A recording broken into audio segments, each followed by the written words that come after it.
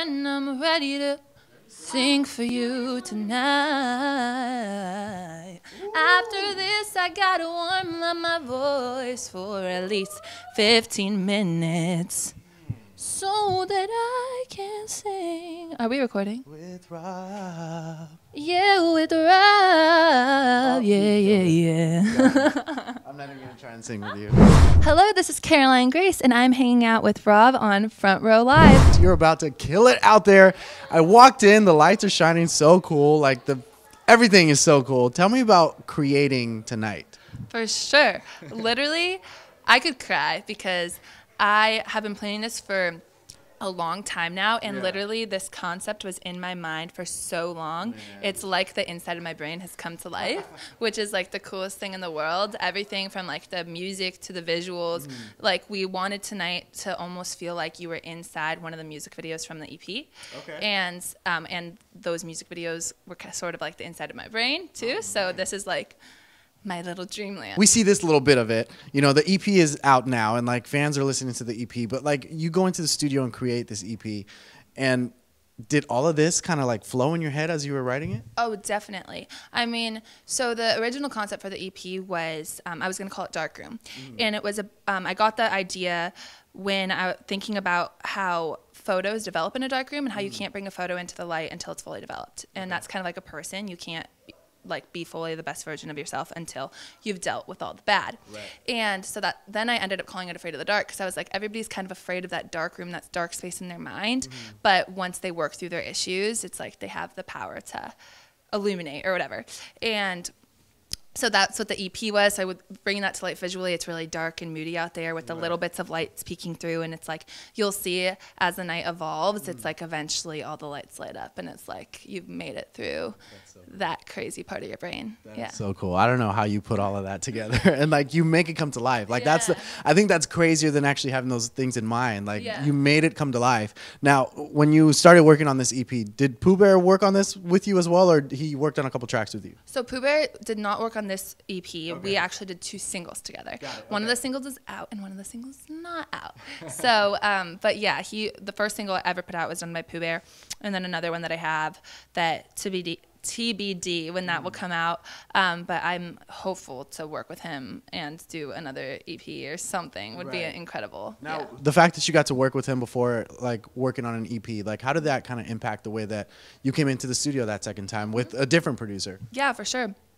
I mean, the first like day I walked into the studio with Poo Bear, I was so intimidated because I'm like, this guy is a freaking hit maker, and I was 20, like or 19, and like the day before in a writing class at USC, and I'm like, whoa, what is going on? Um, but it really, he was the kindest, humblest guy, and so incredible to work with, and it really showed me that if I'm just confident, I can, I can do it, and I could write with anybody, and I, I was. uh in the room with probably the best songwriter in the world and we wrote together and i'm like it gave me the courage to do it with anybody and it just showed me that no idea is stupid um, and you just have to put yourself out there and confidence is everything. Right. Now, now, do you feel like that confidence is everything for you now? Like, do you feel like you're always confident now, or do you still feel like there's times when you're like, I don't know if I can do this? yeah i mean like no i'm scared out of my mind right now to go perform like i'm i'm still have the same fears and everything but i think confidence is more so like the conscious decision to choose to be confident and like okay i'm really nervous i'm scared but i'm going to be brave and i'm going to have the courage to overcome it and i think that's what confidence is and it's like loving yourself enough that you're like even though i'm scared i'm still going to do it and i'm going to do a flipping good job at it. So i didn't know if i could say another word. A fucking good job at it. So when you when you were working with these in the produ- uh, when you were working in the studio with for this EP, like, was there a particular song that you were the most excited to do because you were kind of trying something different? hi Okay. The, the single that's out right now. Yes, yes. Um, so High is the first track I put out that is under the genre like R&B contemporary. Everything was kind of like pop R&B crossover, and that one's pretty straight R&B, and that's something I've been wanting to do for a while. And so that was like actually the last song we recorded, and I was like, oh my gosh, I need to do a project all in this direction because it's much more stripped down feel. And I freaking love that song, and so I was definitely really, really excited to to do that one, and I want to see where that goes creatively from here. Right. Now at the same time, because it was more stripped down, did that kind of scare you a little bit? Totally. I mean, I felt pretty the reason why I had never done it before was because I didn't really feel like I could. Mm. I was kind of in this box of like I'm pop, I'm pop, I'm pop, and I'm like, no, like I've been listening to soul R&B my whole life, and like that's where my voice naturally sits. That's where I want to go, mm-hmm. and so I kind of just did it, and it worked, I think. So So going transitioning from soul R and B to to more of pop or vice versa, like, do you feel like that it changes the way that you write the music? Yeah, definitely. I mean, I think that there's something consistent throughout all my music, and that's just being like pretty straightforward, vulnerable, genuine. Like mm. my lyrics, I've never been high, or like another song, like I'm done and I'm over you, or I mm. knew you were gonna miss me, and so, like, but having that more stripped down vibe did allow me more time, like more of a space to be like 100% just genuine and mm-hmm. authentic. So I think I'm gonna play more into that going forward too. Yeah. Now, does that does that uh, is it safe to say that now you kind of have to the way you warm up is different, or or the way that you train your vocals is different now? because of the R&B well, oh, for mm. sure. I mean, honestly, it's easier for me to sing in that vibe, way easier because even the stuff I was doing more that was more straight pop, it was like I felt like I was straining a little bit and I mm-hmm. didn't really feel like my body was in it. I didn't really and the reason was because it it wasn't exactly what I think I was like literally made to do. And so now it's kind of like my voice is almost just like my body's like a vessel for it, it comes out so much easier. Now, is this the sound that you've you, this is this is it? This is Caroline Grace, or you still you do you still feel like you're still trying to discover who you are as an artist? I think that I mean, we're constantly evolving and changing as humans and mm-hmm. as people. And I mean, I'm still young, I'm 22. And so as I like go through my life, I'm going to be changing. And depending on like things in my life, I'll be changing. And um, so I think that there's a constant evolution of an artist. And I think that's what's so amazing. I mean, look at Madonna. She's constantly reinventing herself. And um, I think that I found my sound, yes, for what it is right now. And I, I'm going to continue down that and not stray, try to stray from that. But, you know, if something leads me creatively into something else, I'm going to go there. But it's what's going to remain consistent is just that it's going to be genuine to me. Right. Now, with the tracks that are on this EP, like, why are these tracks so important that they made it to this EP? Because it's your debut EP. It's a kind of a big deal. Yeah, yeah. so these tracks, I don't know. Like honestly, I used to think that like it had to be so hard to write a song. It had to be so hard, and like I wrote these songs with this um, with a dear friend JD Walker. He's an amazing producer, and they were so easy to write. And I was like. Like we would walk out of studio and be like, "Well, that's done." And, Like after one day, like High was written in an afternoon, and I'm like, "What?" And, like written done, and yeah crazy and i realized like it, it should be easy because it that just means it just kind of happens and that's actually something Poo Bear told me he told me that if it takes more if it takes you more than like an hour to write a hit song it's not a hit song so Okay. yeah All just right. because it's like i don't know it should just flow So, is it safe to say that if you start a song, you can't finish it, you trash it? You don't, or do you still save it for maybe another time? I think that you save it for sure because you never know. Like, I mean, every situation is different. Right. Um, however, I am big on like I want it to come out.